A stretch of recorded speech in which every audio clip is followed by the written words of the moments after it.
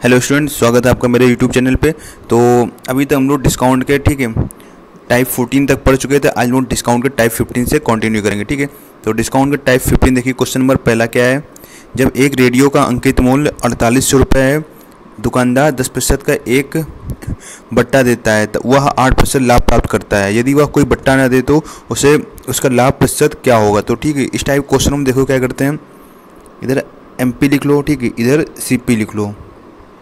इसका first method इसके चार पाँच मेथड है मैं सब लोग सबको ज़िक्र करूँगा, ठीक है? सबका यूज़ बता दूँगा आपको। चार पाँच मेथड इसके। तो देखिए रहे पहले मेथड क्या है, सबसे इजी वाला मेथड देखते हैं, ठीक है? तो दस प्रतिशत का बट्टा देता है तो मैंने क्या बताया, जब बट्टे वाला होगा, वो कहाँ जाएगा? सीपी के नीचे। तो दस प्रतिशत बट्टा दे रहा है तो सौ में दस गया, नब्बे, ठीक है? अब वो आठ प्रतिशत लाभ कमाता है तो इसमें यहाँ नीचे जोड़ देते हैं तो आठ परसेंट लाभ का मतलब क्या होगा? सौ से आठ जोड़ देंगे सौ माने सौ में आठ जोड़ेंगे कितना हो जाएगा? एक सौ आठ। तो इसको सॉल्व कर लेंगे यार। अठारह संग एक सौ आठ, अठारह पंचे नब्बे, ठीक है? अब मतलब क्या है यार? जब कोई बट्टा नहीं देगा तो बट्टा ना देने की स्थिति में जो एमआरपी होता है, वो आपका क्या होता है? एसपी होता है, ठीक है? तो याद रखना नोट बना के लिख लें भाई, जब कोई बट्टा नहीं दिया जाएगा, ठीक है?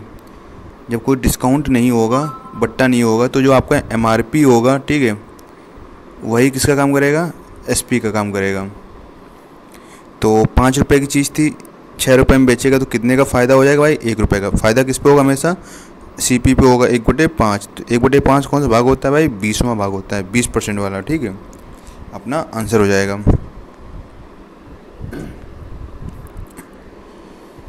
चलिए देखते हैं, इसका सेकंड मेथड देख लेते हैं भाई, ठीक है? इसका सेकंड मेथड क्या होगा? तो देखो सेकंड मेथड बहुत इजी वाला है। तो मैंने आपको एक चार्ट बताया था, ठीक है? सीपी में कुछ इंक्रीज करते हैं, ठीक है? तो आपको एमआरपी मिलता है, यानी एमपी मिलता है। एमपी में डिस्काउंट देते हैं तो आपको एसपी मिलता है, ठीक है? अब यहाँ पर सीपी में कुछ इंक्रीज करेंगे, या इंक्रीज होगा या डिक्रीज होगा, ठीक है? प्रॉफिट होगा या लॉस होगा तो आपको क्या मिलेगा? एसपी तो इसका कहने का मतलब क्या है? अगर डिस्काउंट दे रहे हैं, तब भी एसपी मिलता है, और सीपी में अगर प्रॉफिट लॉस हो रहा है, तब भी क्या मिलता है? एसपी मिलता है। तो ये कॉन्सेप्ट हम लोग यूज़ करेंगे।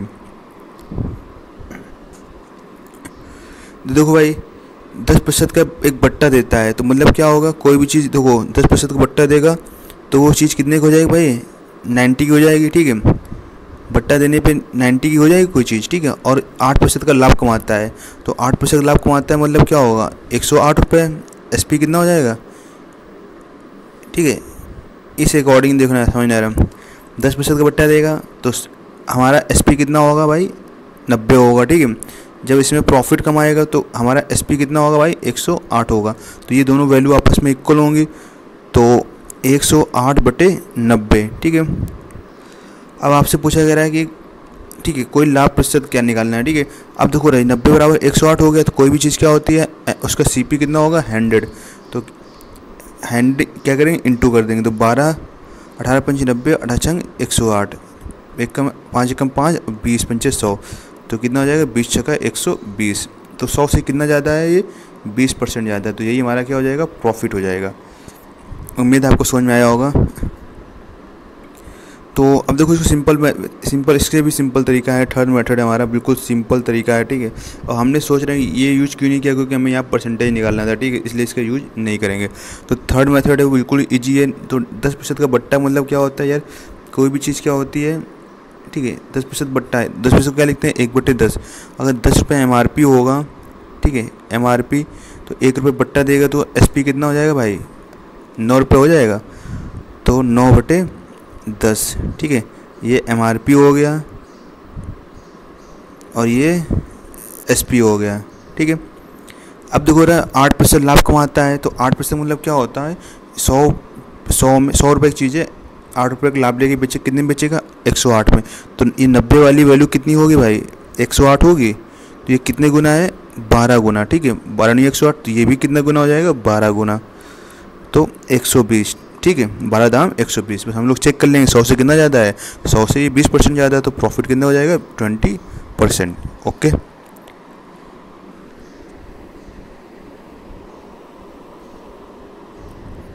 चलिए बढ़ते हैं क्वेश्चन नंबर सेकंड की ओर, ठीक है? तो क्वेश्चन नंबर सेकंड क्या कह रहा है कि एक बिजली की स्त्री का अंकित मूल्य तीन सौ रुपये है। दुकानदार इस पर बारह प्रतिशत की छूट देकर भी दस प्रतिशत का लाभ अर्जित करता है। यदि वह इस पर कोई छूट ना दे तो इसका लाभ प्रतिशत कितना होगा? ठीक है? तो देखो अब इधर एमपी आता है और इधर आपका सी आता है। तो जहाँ पर छूट होगा वो सीपी के नीचे आएगा। तो कोई भी चीज़ क्या होती है? हंड्रेड परसेंट होती है। बारह प्रतिशत की छूट देगा, कितने में बेचेगा? अट्ठासी में। सौ में से बारह घटा देंगे। दस प्रतिशत का लाभ कमाता है, कोई भी चीज़ क्या होती है, हंड्रेड परसेंट की दस प्रतिशत लाभ कमाएगा, कितने बेचेगा, एक सौ दस में बस। इसका रेशियो ले लेंगे, बाईस सौ को अट्ठासी, बाईस पंचे, एक सौ दस। तो पाँच रुपये एम आर पी हो गया, चार रुपये सी पी अब देखो यार क्या बोलता है, यदि इस पर कोई, ठीक है, छूट ना दे, जब छूट नहीं देगा तो जो आपका एम आर पी होगा, वो क्या कहलाएगा, ठीक है एस पी कहलाएगा। तो चार रुपये की चीज़ थी, पाँच रुपये में बेच रहा है तो एक रुपये का प्रॉफिट होगा तो एक रुपये का प्रॉफिट होगा, किस पे होगा सी पी पे। तो एक बटे चार गुणे सौ। तो कितना प्रॉफिट हो जाएगा? ट्वेंटी फाइव परसेंट ठीक है?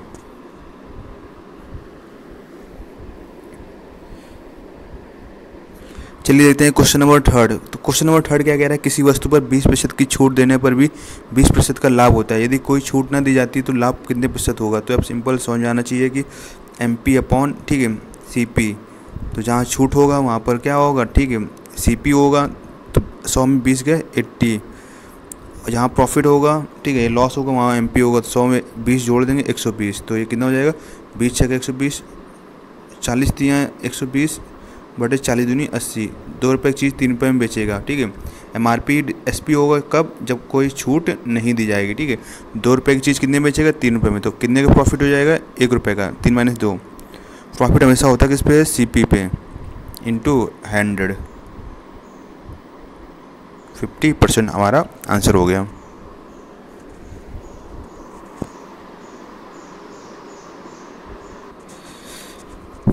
चलिए देखते हैं क्वेश्चन नंबर फोर ठीक है क्वेश्चन नंबर फोर क्या कह रहा है? किसी वस्तु के क्रय मूल्य को कितने प्रतिशत बढ़ाकर उसका मूल्य अंकित किया जाए कि ग्राहक को पाँच प्रतिशत कटौती देकर भी तैंतीस प्रतिशत का लाभ हो? तो पाँच प्रतिशत कटौती दे रहा है, पाँच प्रतिशत मतलब क्या होता है भाई? एक बटे बीस। तो अब बीस रुपये में ठीक है, बीस रुपये की एमआरपी होगी, एक रुपये डिस्काउंट दे, कितने बेचेगा? उन्नीस में, ठीक है? तो ये नीचे वाला होता है एमपी और ये, ठीक है एसपी अब क्या है थर्टी, तैंतीस परसेंट का लाभ ले रहा है तो तैंतीस परसेंट लाभ मतलब क्या होगा? कोई भी अगर चीज़ सौ रुपये की है तो तैंतीस परसेंट लाभ लेगा, कितने में बेचेगा? एक सौ तैंतीस में। तो ये भी एस पी ठीक है, उन्नीस की वैल्यू कितनी हो जाएगी? एक सौ तैंतीस, ठीक है?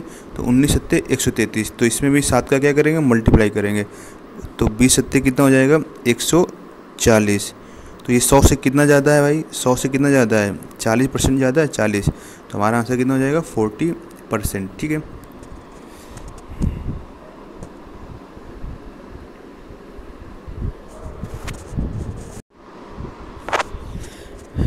चलिए देखते हैं क्वेश्चन नंबर पहला।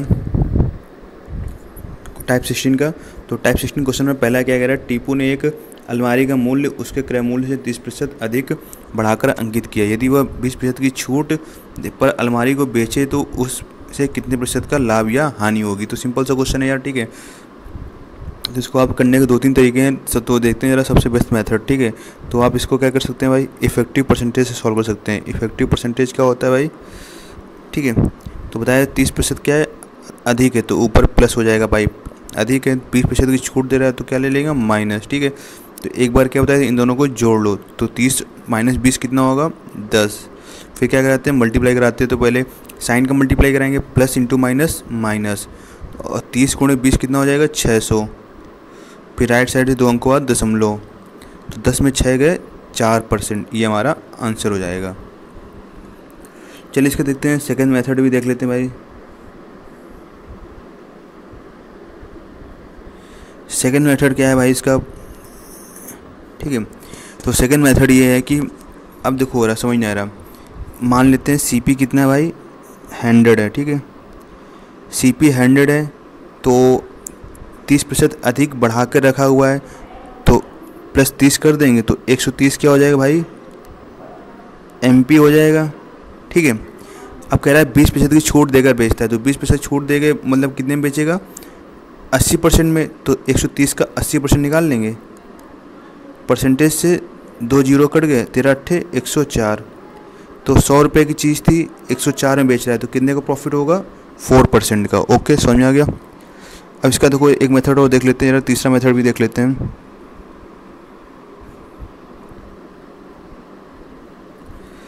इसका थर्ड मेथड है, वो देख लेते हैं जरा, ठीक है? तो सिंपल सा थर्ड मेथड ये है कि ये क्या है? 130 परसेंट कोई भी चीज़ क्या होती है? ठीक है, समझ समझना जरा तीस परसेंट अधिक होगी, ठीक है? तो बीस परसेंट की छूट देगा तो बीस परसेंट मतलब क्या होगा? एक बटे पाँच। अब एक रुपये छूट देगा कितने बेचेगा? चार रुपये में, ठीक है? पाँच रुपये उसका एमआरपी है, चार रुपये में बेचेगा तो पाँच वाली वैल्यू क्या दी हुई है? एक सौ तीस। तो पाँच की वैल्यू एक सौ तीस। तो कितने गुना है? ये पाँच दूनी दस, पाँच छः का तीस, छब्बीस गुना। तो इसका भी क्या हो जाएगा? ये भी छब्बीस गुना हो जाएगा तो छब्बीस चौको एक सौ चार। तो सौ से कितना ज़्यादा है? चार परसेंट यही हमारा क्या हो जाएगा। आंसर हो जाएगा।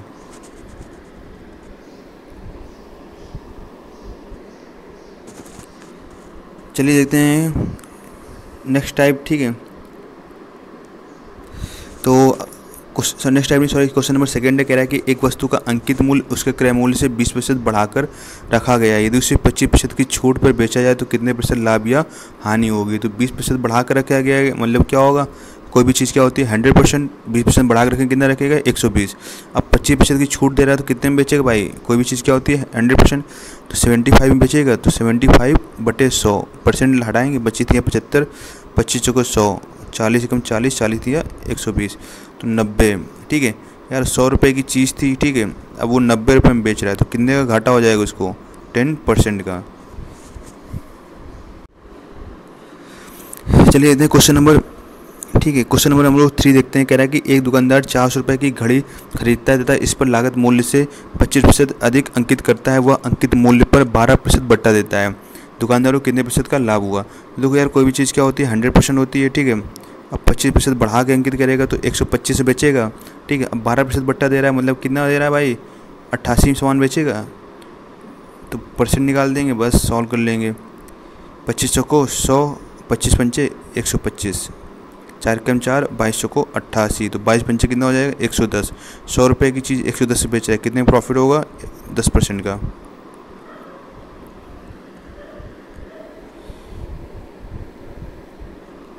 चलिए बढ़ते हैं टाइप सेवनटीन की ओर। टाइप सेवनटीन क्या कह रहा है कि क्वेश्चन नंबर पहला है, प्रतिमा जब बारह चूड़ियाँ खरीदती है तो उसे तीन चूड़ियाँ मुफ़्त में मिलती हैं तो उसे कितने प्रतिशत की छूट मिलती है? ठीक है। एक्चुअल में देखो उसको दो, बारह चूड़ियाँ हैं, ठीक है। तीन चूड़ियों मुफ़्त में मिलती हैं तो कितनी, ठीक है और टोटल चूड़ियाँ हो कितनी गई? पंद्रह, ठीक है? तो एक्चुअल में उसको पंद्रह की कॉस्ट पड़ेगी, ठीक है? अब उस, कितनी मुफ़्त जितनी मुफ़्त देता है बटे टोटल इंटू हंड्रेड ये कर लोगे, तीन कम तीन तीन पच्चे पंद्रह, बीस पंचे सौ. यानी बीस परसेंट क्या हो जाएगा? आंसर हो जाएगा. क्या है भाई? जितनी देता है, जितनी मुफ़्त में देता है बटे टोटल मुफ़्त में कितनी दे रहा है? तीन. ऊपर लिख लेंगे टोटल कितनी हो जाएगी? बारह प्लस तीन.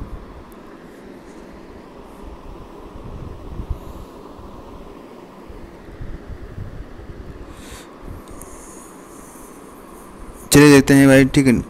अगला क्वेश्चन देखते हैं क्वेश्चन नंबर टू ठीक है क्वेश्चन नंबर टू क्या कह रहा है कि एक दुकानदार छः शर्ट खरीदने पर दो मुफ़्त में देता है। बताइए, ग्राहक को कितने परसेंट छूट प्राप्त होगी? यार, दो मुफ़्त में दे रहा है ना, जितनी मुफ़्त में देता है उसको ऊपर बटे टोटल छः प्लस दो, आठ इंटू सौ। तो उसको सॉल्व करो, कितना हो जाएगा? ट्वेंटी फाइव परसेंट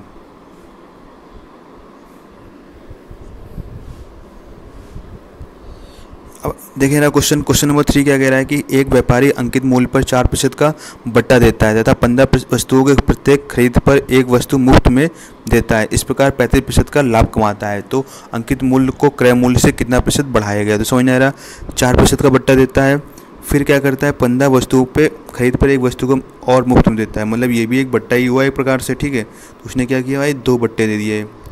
ठीक, उसने क्या किया? आपको दो बट्टे दे दिए। एक चार परसेंट का बट्टा दिया दूसरा पट्टा क्या होगा? ठीक है, पंद्रह वस्तुओं की खरीद पर एक वस्तु तो एक वस्तु मुफ़्त देता है बट्टे टोटल खरीदता कितनी है? एक बट्टे सोलह इंटू हंड्रेड ठीक है? तब इसको ज़रा, इसको सिंपल कॉन्सेप्ट समझ सकते हैं। तो चार प्रतिशत क्या लिखेंगे? एक बटे पच्चीस, ठीक है? मतलब पच्चीस रुपये की एमआरपी थी उसकी। एक रुपये छूट दे रहा है तो कितने बेचेगा? चौबीस में, ठीक है? ये आपका क्या हो जाएगा? एस पी ठीक है? अब समझना रहा है यहाँ पर। यहाँ पर सोलह रुपये एम है, ठीक है? एक रुपये छूट में बेचे, कितने बेचेगा पंद्रह के ठीक है? तो बस क्रॉस क्रॉस क्रॉस क्या कर देते हैं? कर देते हैं पाँच तो चाम पच्चीस, पांतियाँ, पंद्रह। और आठ दूनी सोलह, आठ तरीका चौबीस। तो दस पाँच दूनी दस और तीन तरीका नौ। तो मतलब दस रुपये की चीज़ थी, नौ रुपये में बेच रहा है, ठीक है? यहाँ से ये समझ में आया अब कह रहा है कि वो पैंतीस प्रतिशत का लाभ कमाता है, ठीक है? तो पैंतीस प्रतिशत का लाभ क्या होता है? नौ बटे दस हो जाएगा, ठीक है? पैंतीस प्रतिशत लाभ कमाता है मतलब सौ वाली चीज़ कितने बेच रहा है? एक सौ पैंतीस पे। तो नौ वाली वैल्यू कितनी हो जाएगी? एक सौ पैंतीस हो जाएगी। पंद्रह निया एक सौ पैंतीस, पंद्रह दाम, एक सौ पचास। तो सौ रुपये की चीज़ सौ से कितना ज़्यादा है? पचास परसेंट, ठीक है? बस यही हमारा क्या हो जाएगा? आंसर हो जाएगा।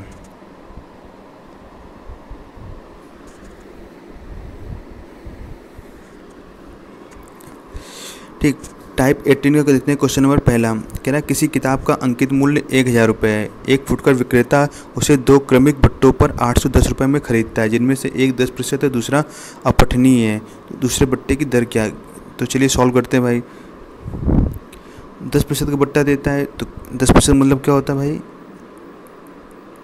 एक बट्टे दस। कोई भी चीज़ अगर दस रुपये की एक रुपये बट्टा दे, कितने बेचेगा? दस की चीज़ नौ रुपये में बेचेगा, ठीक है?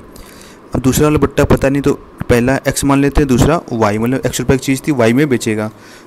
अब देखो रहा अंकित मूल्य, ये ये एमपी वाला था, ये एसपी था, ठीक है? तो अंकित मूल्य कीमत कितनी है? दस हज़ार।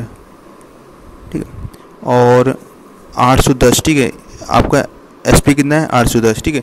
हमें अगर एक्स की वैल्यू निकालनी है तो इस दस का, ठीक है? इस दस से एक हज़ार में भाग दे देंगे। तो एक्स बराबर कितना हो जाएगा? एक हज़ार बटे दस।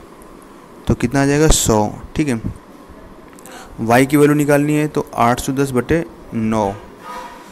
तो नब्बे हो जाएगा। ठीक है? अब देखो, समझ नहीं आ रहा है। सौ रुपये की चीज़ है, नब्बे रुपये में बेच रहा है। तो कितने का डिस्काउंट देगा? दस का। ठीक है? डिस्काउंट होगा किस पे? सौ पे। तो दस बटे सौ इंटू सौ। तो ये कट जाएगा तो कितना आ जाएगा आंसर? Ten percent. ठीक है? समझ में आ गया? बाकी यार इसको बेसिक मेथड से भी कर सकते हैं। तो बेसिक मेथड देखो कैसे सॉल्व करेंगे।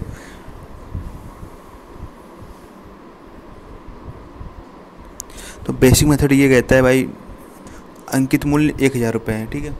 तो अंकित मूल्य एक हज़ार है तो एक हज़ार। डिस्काउंट क्या करते हैं? अंकित मूल्य पे देते हैं तो दस परसेंट डिस्काउंट देगा। तो दस परसेंट क्या है? मतलब सौ रुपये की चीज़, दस रुपये डिस्काउंट दे के बेचेगी, नब्बे में बेचेगा। दूसरा पता नहीं है तो हम लोग क्या मान लेते हैं? एक्स परसेंट, ठीक है? एक्स मान लेते हैं। दूसरा हमें पता नहीं भाई बट्टा तो एक्स परसेंट मान लेते भाई। अब फाइनली चीज़ बेचता कितने में वो? आठ सौ दस रुपये में बेचता है, ठीक है? तो क्या करेंगे? सॉल्व कर लेंगे। तो दो ज़ीरो और ये दो ज़ीरो। इसका एक ज़ीरो, इसका एक ज़ीरो। नौ नहीं इक्यासी। ठीक है तो एक्स बराबर कितना हो गया? नौ बटे दस। ये परसेंट हटाएँगे तो बटे में इंटू सौ हो जाएगा तो दस। एक्स बराबर कितना हो जाएगा?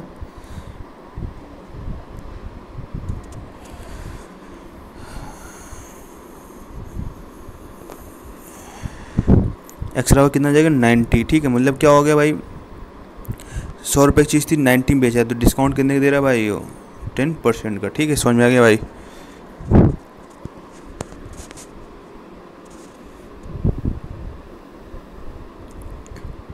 चलिए बढ़ते हैं क्वेश्चन नंबर सेकंड तो कह रहा है कि सोलह सौ रुपये की अंकित मूल्य है। दो क्रमवार बट्टे देने के उपरांत इसे बारह सौ चौबीस रुपये में बेचा जाता है। यदि पहले बट्टे की दर दस परसेंट है दूसरे बट्टे की दर क्या होगी यार? तो दस प्रतिशत मतलब क्या होता है? दस प्रतिशत, दस, एक, दस प्रतिशत मतलब क्या होता है? एक बटे दस। दस रुपये की चीज़ कितने बेचेगा? नौ रुपये में। तो ये क्या होता है? एमपी ये क्या होता है? एसपी ठीक है? और मान लेते दूसरा बट्टा क्या है? एक्स है तो छूट देने के बाद कितना मिलेगा? वाई रुपये का, ठीक है? तो ये सोलह सौ हो गया। और ये 1224 हो गया। तो अगर x की वैल्यू निकालनी है तो क्या करते हैं भाई? 1600 बटे दस। वाई की वैल्यू निकालनी है तो 1224 बटे नौ। एक्स बराबर एक सौ साठ। नौ से काटो नौ, कम नौ। और नौ सत्ताईस, नौ चौवन एक सौ छत्तीस, ठीक है? तो एक सौ साठ रुपये की चीज़ एक सौ छत्तीस में बेच रहा है। तो कितने का प्रॉफिट ले रहा है भाई? चौबीस का ले रहा है। चौबीस का प्रॉफिट किस, चौबीस का डिस्काउंट दे रहा है? चौबीस डिस्काउंट किस पे दे रहा है? एक सौ साठ पे। इंटू सौ। आठ दूनी सोलह, आठ थ्री का चौबीस, दो पंचे दस, यानी पंद्रह परसेंट, ठीक है? तो आंसर क्या आ जाएगा? Fifteen percent. तो आज के लिए इतना ही रखते हैं। फिर हम लोग, आप लोग कमेंट करके बताइए कौन सा चैप्टर शुरू किया जाए नेक्स्ट वाला।